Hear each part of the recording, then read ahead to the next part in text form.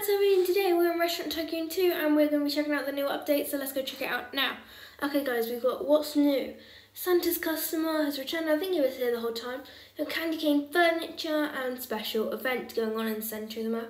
I think the update dropped the same time every year and I think this is our third or I think it's our third year running.